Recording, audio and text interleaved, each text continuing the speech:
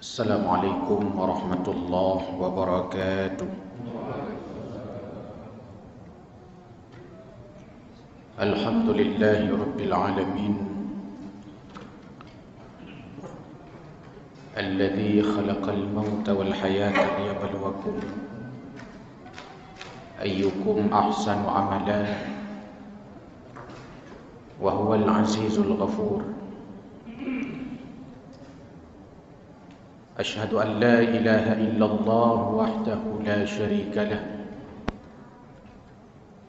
وأشهد أن سيدنا محمدا عبده ورسوله. لا نبي بعده. اللهم سبحانك لا علم لنا إلا ما علمتنا إنك أنت العليم الحكيم. ربنا زدنا علما وارزقنا فهما رب اشرح لي صدري ويسر لي أمري واحلل عقدة من لساني يفقه قولي برحمتك يا أرحم الراحمين Hadirin wal hadirat jamaah maghrib yang dimuliakan Allah Subhanahu wa taala. Segenap syukur kita persembahkan kepada Allah. Selawat dan salam kepada Rasulullah sallallahu alaihi wasallam. Mari kita isi kegiatan kita pada maghrib yang berbahagia ini dengan melihat beberapa kalam hikmah daripada para ulama kita mudah-mudahan memberikan refleksi dan motivasi kepada kita dalam menjalani kehidupan ini.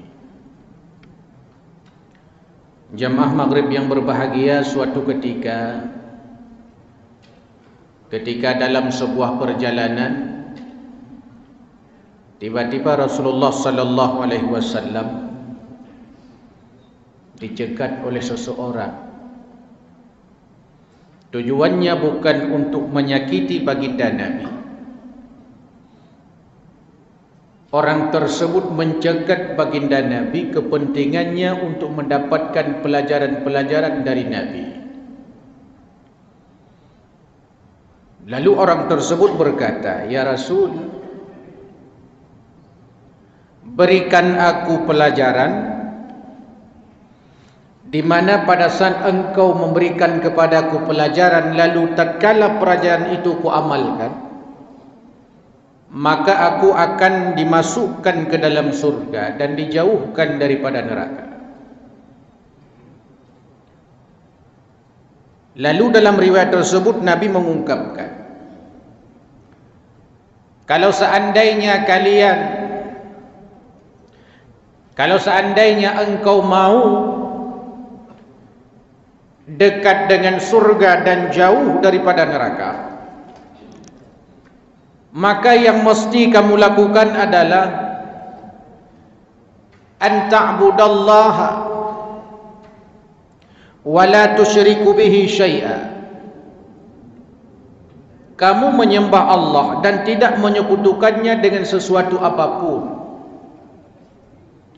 Iman di hatimu iman di lisanmu iman pula dalam amar perbuatanmu wa tuqimas salat dirikan salat. Karena ibadah yang pertama nanti dihisap oleh Allah di hari kiamat salat.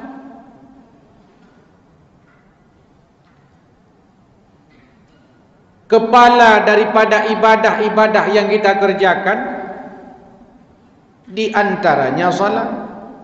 Maka kalau engkau mau dekat dengan surga jauh dari neraka kata Nabi kepada orang tersebut salatlah. Wa tu'tiyaz zakah tunaikan zakat.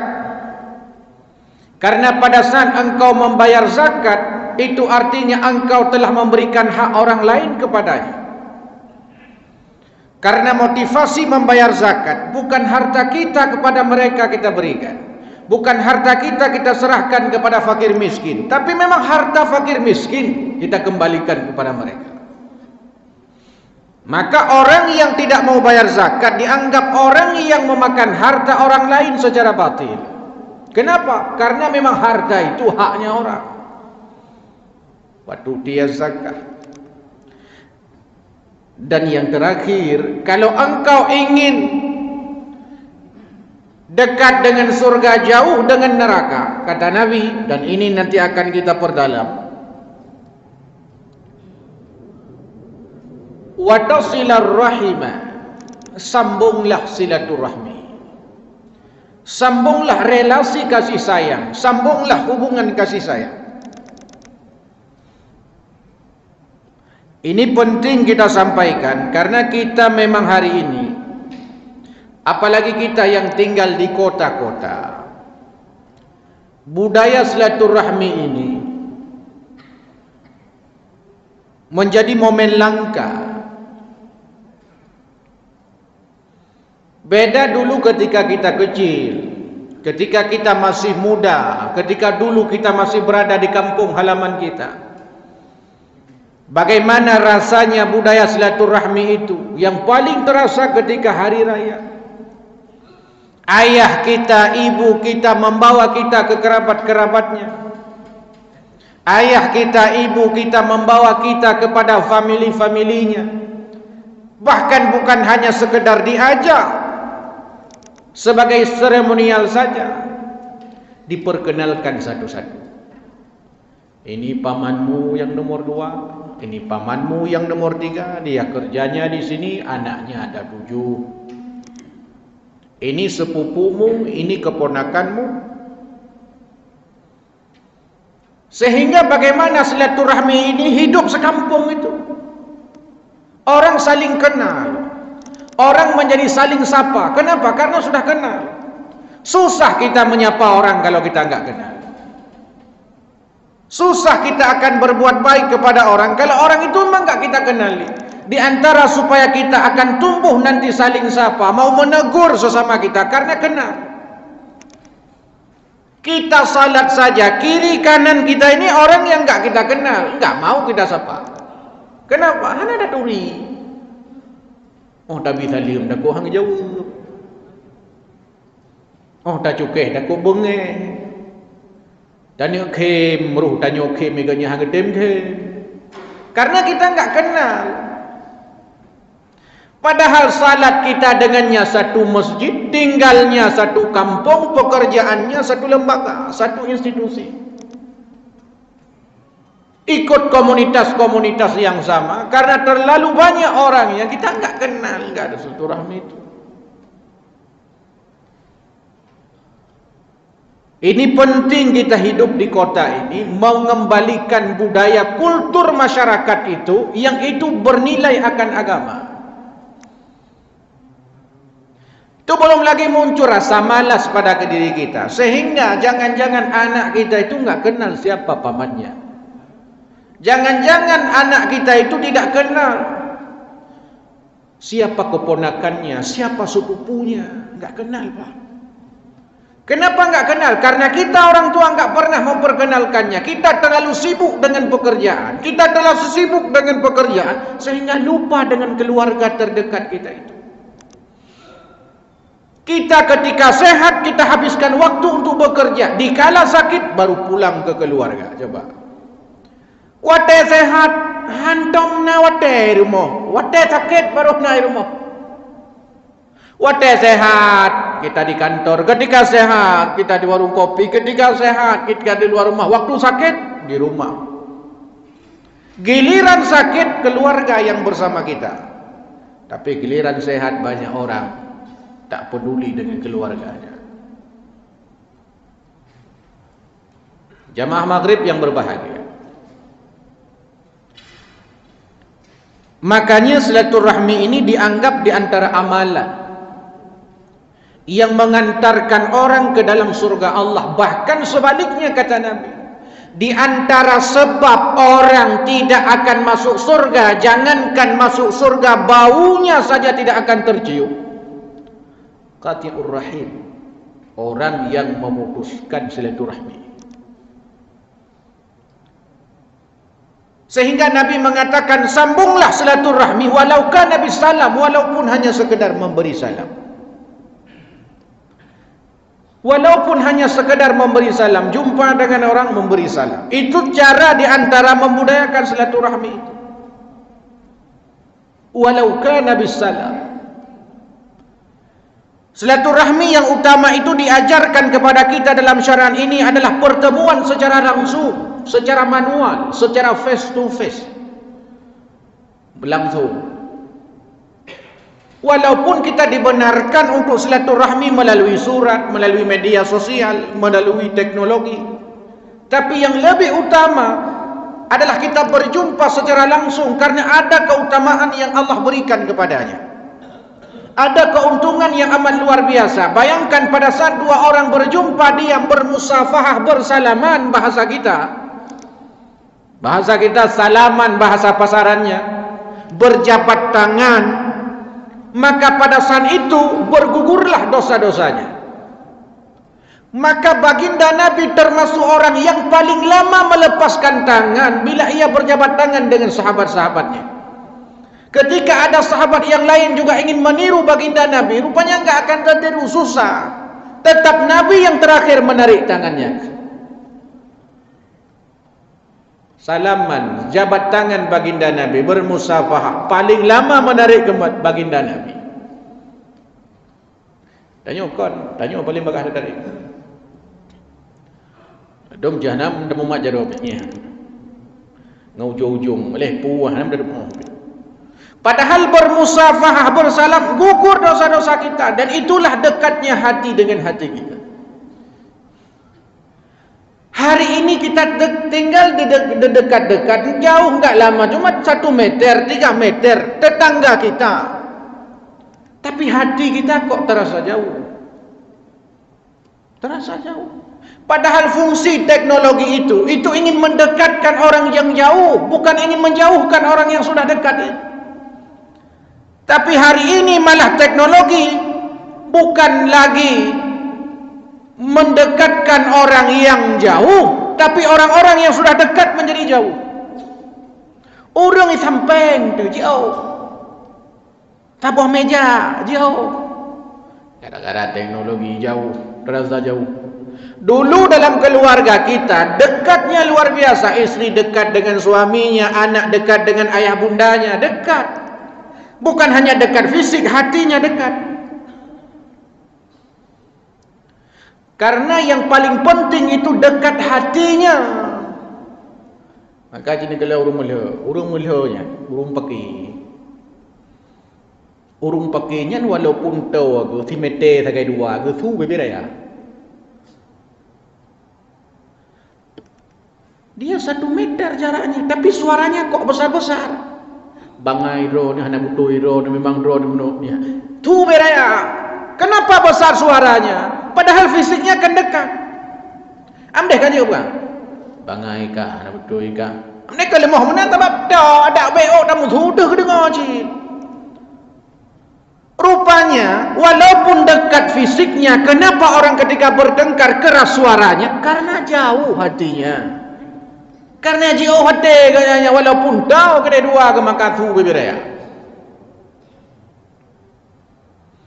Tak ada sahabat katakanlah di Malaysia di luar negeri melalui telefon dan telefon.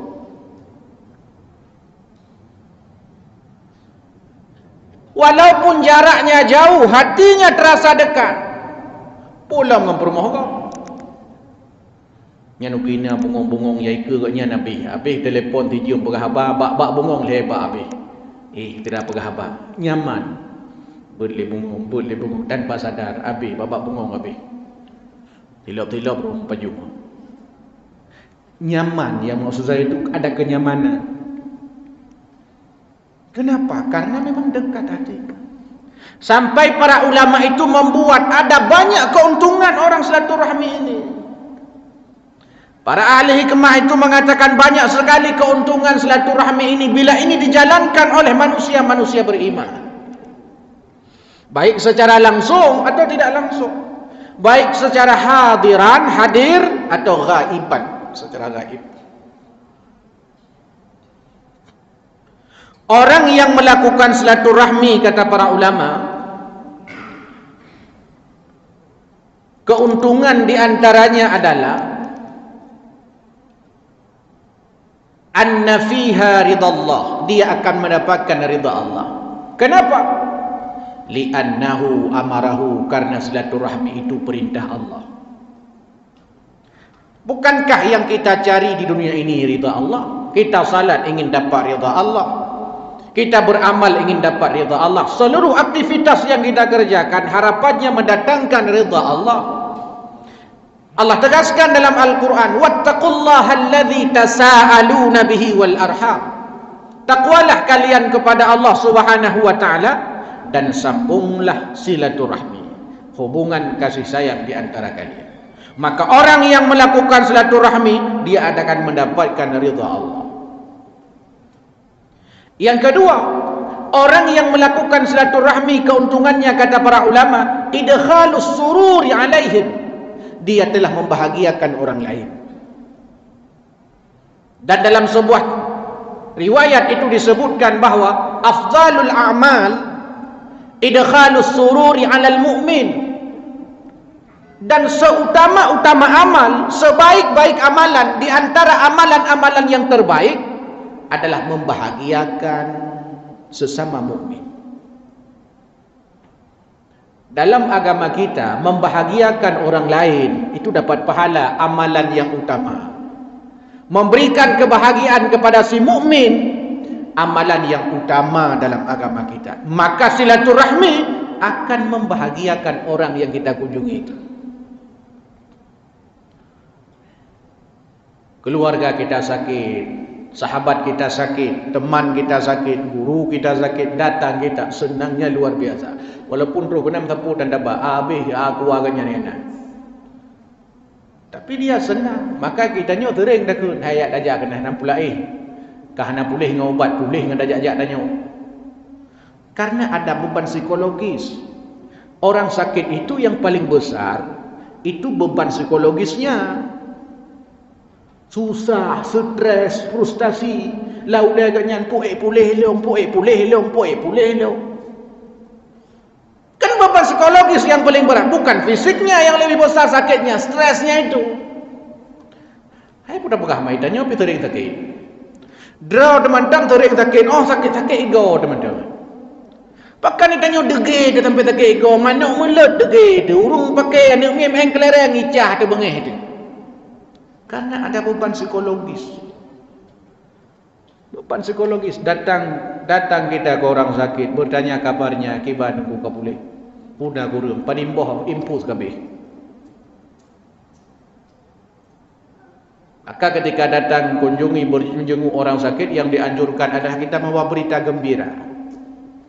Orang sakit banyak dapat pahala sebelum masa sakit Akan berguguran dosa-dosa. Bila engkau tak punya dosa akan bertambah pahala-pahala. Kita tenang ya? Kata berat tenang walaupun dia sakit anak yang lain Tapi yang inti je Kita dah pegah Iro nak hana masalah sakit sabar berdegar nyu berita gembira bahawa urung sakitnya. Bila ada dosa gugur dosa-dosanya. Bila enggak ada dosa bertambah pahala-pahalanya munyo mati demam syurga di paham tak walaupun dia sakit hana gemaya itu untuk menghilangkan beban psikologisnya karena saya sering sampaikan bahawa dalam penelitian banyak orang mati itu bukan gara sakitnya. Tapi gara-gara menghadapi penyakit. Gara-gara stres menghadapi penyakit. Tidak nyaman, tidak aman, ada beban orang yang silaturahmi memberikan kebahagiaan senang. Tanya menteng na cucu na ane dijak rumah tanya na abang na akak na adik. Di silaturahmi rumah tanya tiba-tiba kata Masya Allah bahagia pasti dan membahagiakan sesama mukmin amal yang terbaik di antara amalan-amalan yang terbaik. Yang ketiga, kata para ulama, keuntungan orang yang melakukan silaturahmi anna fiha farahal malaikah akan membuat malaikat itu bahagia kepadanya, malaikat senang kepadanya. Orang yang melakukan silaturahmi itu malaikat senang kepada mereka. Malaikat ini kan satu makhluk Allah. Dia tidak pernah bermaksiat kepada Allah. Apa yang diperintahkan Allah dia kerjakan, apa yang dilarang Allah mereka tinggalkan. Itu malaikat. Di antara makhluk Allah yang paling dekat dengan Allah malaikat. Kenapa? Dia enggak punya dosa. Tidak bermaksiat kepada Allah karena memang tidak punya kecenderungan untuk bermaksiat. La ya'sunallah ma amarahum wa yaf'aluna ma yu'marun.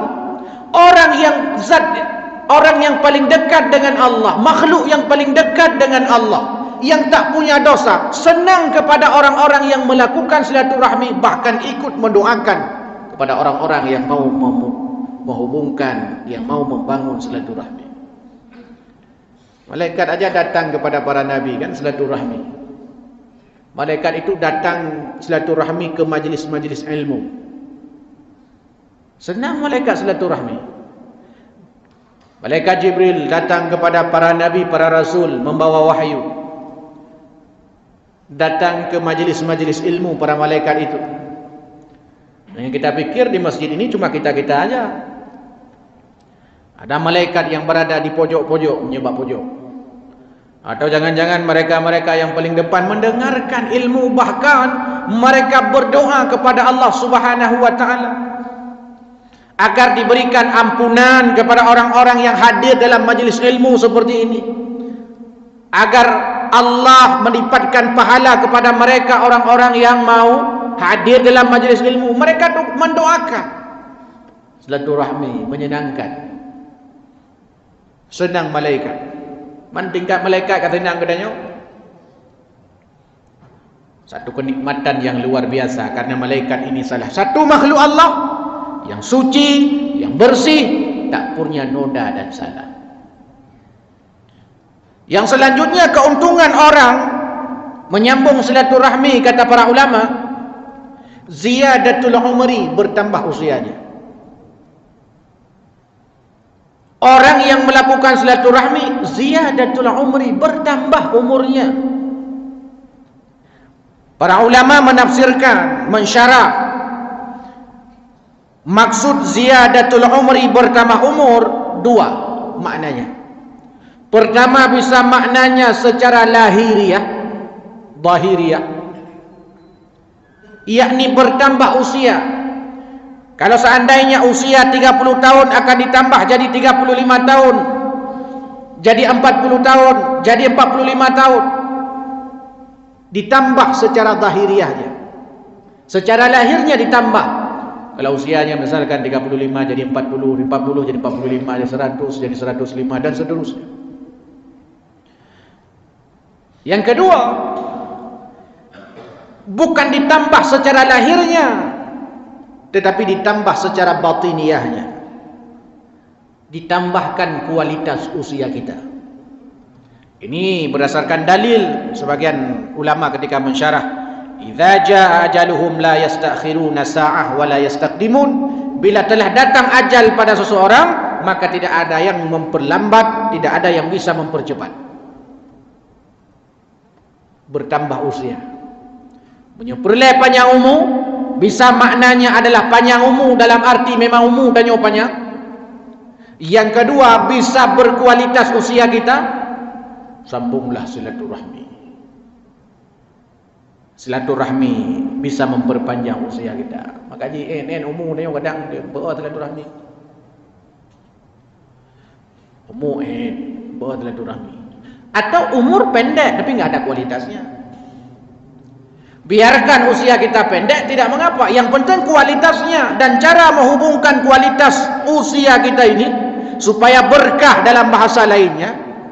Silaturahmi salah satu resepnya. Kemudian orang yang melakukan silaturahmi kata para ulama ziyadatul ajri bertambah banyak pahalanya. Kenapa bertambah banyak pahalanya? Pada saat orang ini nanti akan kembali kepada Allah Subhanahu wa taala meninggal dunia, dia akan didoakan lebih banyak oleh manusia-manusia yang masih hidup. Ada silaturahmi, Pate mati tanyo ijak ngon tanyo wat tanyo. Ituri tu. Tengok kan darung dah jak baru mati han ada turi. Jarung lah. Yang sering tajak baru urung mati yang taturi. Gaya hana turi yang jarum tajak, ladung jantum tajak.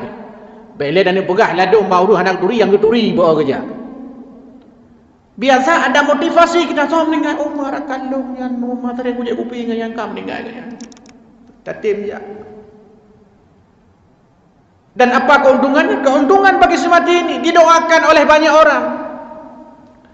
Orang sana mengatakan Allah maghfir lahu warhamhu di belah radih fi wa wa'afi wa'fu anhu dia belah radih Allah maghfir lahu. Berapa? Oh, banyak orang yang mendoakan kita. Itu keuntungan yang dilipat gandakan. Itu kepentingan untuk membangun relasi, lila pahala. Yang selanjutnya keberkatan atau keuntungan bagi orang-orang yang melakukan silaturahmi kata para ulama barakatur rizki Allah berkahi rezekinya. Allah permudah jaringannya. Allah permudah relasinya. Tanyo menteng nyo nak kerja kadang-kadang jika gara-gara angon. Gara-gara syarat, gara-gara apa, gara-gara buat, nak ada kerja. Kepegah badannya kayak teh kenan hai na longan nampak nak kudu dengar. Ada longan nak nunggu dengar. Nak ada duit. Maka semakin banyak orang yang kita kenal, maka akan semakin banyak peluang-peluang pulang dari tanya orang muda. Hmm? Tanya-tanya mudanya menyahanangonnya habis. Ay, habis dalam artian susah bergaul. Dan dia kepatologi sosial, dia penyakit sosial, susah bergaul, tidak mampu beradaptasi. Redih yang kerja, redih pah, rono pah, kan angon yang manduma. Yang sering disebut orang people in, urung dalam, yang tu yang ke urung dalamnya tau. Yang ke urung karena selain kan dulu rahmi kanya ada turi kanya. Bukan atas dasar sogok kau yang gara-gara atas sogok. Nah urung dalam. Asaina info ke pegah badannya hainya. Kena ke daftar. Hainya kena ke tamo. Hainya kedih kaja. Haide kena kaja. Haide kedih ke tamo. Karena kita kenal. Karena hakikatnya manusia ini dia tidak bisa hidup sendiri. Inilah yang disebut dengan zon politikon, makhluk sosial. Dalam bahasa agama, An-Nas. Manusia disebut oleh Allah An-Nas. An-Nas itu apa artinya? Manusia sebagai makhluk sosial nggak bisa hidup sendiri. Dia butuh kawan, dia butuh sahabat, dia butuh orang lain, dia butuh pihak lain. Hanya udah tidak. Mudah mau curuga, mudah rame-rame. Kan tidak Tabo-tabo rombongan. Rombongan masuk jami ada mau. Nomor rombongan. Ya naru rombongan kagak na kan tidak pernah tidak. Maka dia benar rencana ada mau curug tidak ada mau rombongan-rombongan. Per rombongan, rombongan-rombongan. Berbondong-bondong orang masuk ke dalam. Beda begini tidur di atas lebih-lebih kena ana. Rame-rame dia mau. Masuk surga saja secara kolektif, masa di dunia ini kita enggak mau membangun kolektivitas.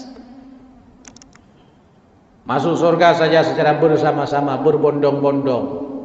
Masa di dunia ini kita enggak mau membangun jaringan, networking, silaturahmi bahasa agamanya. Menyambung hubungan kasih sayang. Itu keuntungannya. Kemudian hadirin jamaah maghrib yang dimuliakan Allah subhanahu wa ta'ala.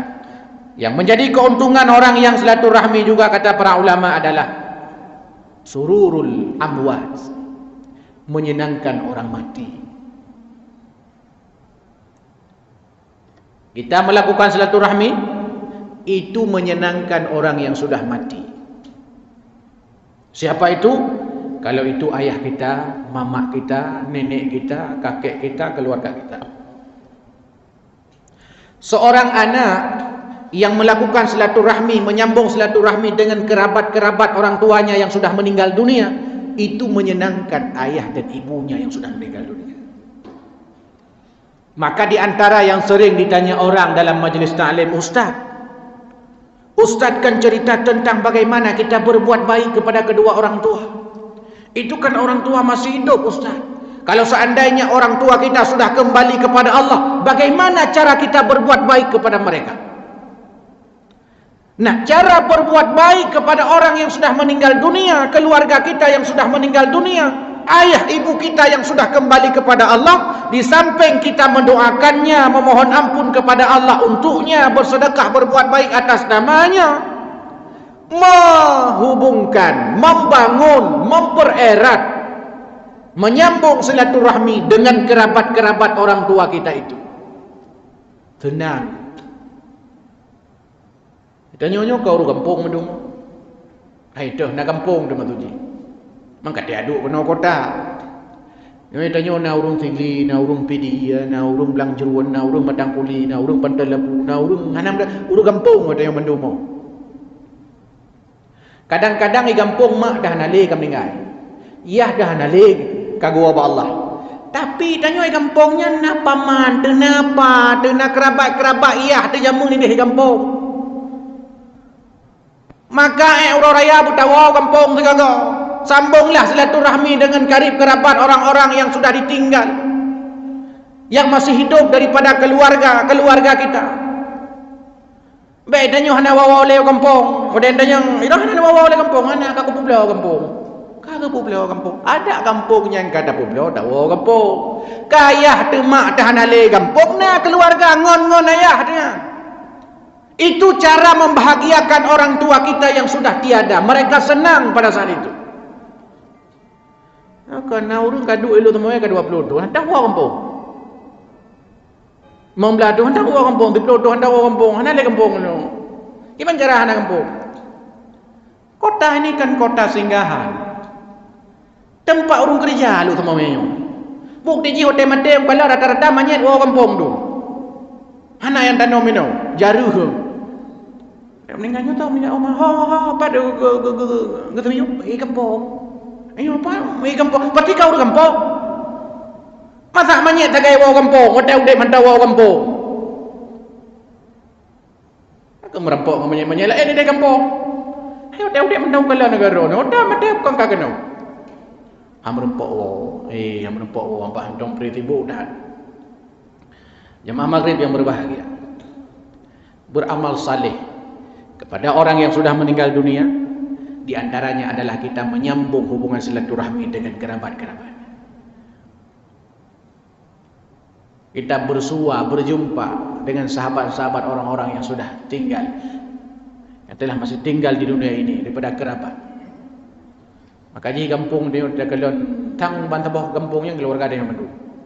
Badat duri. Maka dal doh duri. Eh? Karena jarang pulang kampung, tetua kampung hizira tu. Nangon long Ira ko bawa kampung. Pa jaga bawa kampung. Hanangan ko kampung. Hanangan kampung kan ada wa kampung. Dan yang semua nak orang nak elok nak ko je. Hendak ko kampung. Pa nak dah dah dah. Membahagiakan. Tahu kampung tu agak duri dengan orang bayi aku pergi kedai kopi-kopi ulah kampung. Pak yang hai tak kopi kampung yang seribu dia. Punuh kedai kopi kampung. Orang dua di kopi waribe apa. Tak pegat nyo ro nyo khusus lu ko kampung nyo mendung kupi nyo lu mayu tenang ko kampung yang bahagia luar biasa. Dengan dua ribu ya. Tanya dua ribu hanya harga di dari dua kota luar biasa. Hai na urung mutang peng hai tungku nabi mutang peng tiplu ribu ya. Tiplu ribu ya lagi mutang peng. Urung kedua bukan empat dua puluh. Dua puluh empat. Ledak kau ledak dua puluh begitu berharganya Pula nak tahu kedai kopi dah bayar tanya. Yang ke fikir le urang lang kedai kopi nya. Oh mah katut saya drone ni deh. Di kota katut saya. Kerja yang gaji pada 80 juta ni tu boleh. Pai oh tak putar pai pada bawa kedai nya. Buat loh si kudu ribe tak kai. Tak kaya. Gaji nya rencana eh celek wow kampung dah. Mudah, mudah untuk bergaul. Hadirin yang dimuliakan Allah Subhanahu wa taala. Sebab itu saya ingin mengajak diri pribadi dan kepada kita semua di antara perintah Allah Subhanahu wa taala itu adalah silaturahmi, memberikan keuntungan-keuntungan yang amat besar dalam kehidupan kita baik di dunia maupun di akhirat. Merasa bersalahlah pada saat kita tidak melaksanakan salah satu perintah Allah ini. Kita takut enggak salah. Kita takut kalau enggak membayar zakat. Kita takut kalau melanggar perintah-perintah Allah. Padahal salah satu perintah Allah itu adalah silaturahmi. Salah satu daripada perintah Allah itu silaturahmi. Dan di Aceh dalam dalam tradisi orang Aceh ini, hari ini tempat silaturahmi paling nyaman, paling ramai adalah kedai kopi. Maka manfaatkanlah kedai kopi itu bukan untuk menggibah orang, bukan untuk mencaci orang, bukan untuk menyingkirkan orang, bukan untuk menghina orang. Jadikanlah warung-warung kopi yang ada di Aceh ini sebagai negeri seribu satu warung kopi sebagai media silaturahmi. Sehingga sambil ngopi dapat pahala. Sambil ngopi didoakan malaikat. Sambil ngopi mendatangkan keberkahan rezeki. Sambil ngopi panjang usia dah tanya legap bahkan ran panjang umur tak kujik kopi buat gede. Ada unsur silaturahmi di situ. Itu media paling penting bagi kita karena memang apapun ceritanya warung-warung kopi itu harus kita manfaatkan untuk kepentingan-kepentingan positif. Di samping adalah untuk menghabiskan waktu-waktu istirahat kita mungkin.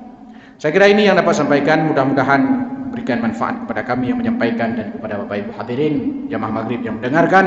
Hadanallahu wa iyyakum ajmain. Subhanakallahumma bihamdik asyhadu an la ilaha illa anta astaghfiruka wa atubu ilaik. Wassalamualaikum warahmatullahi wabarakatuh.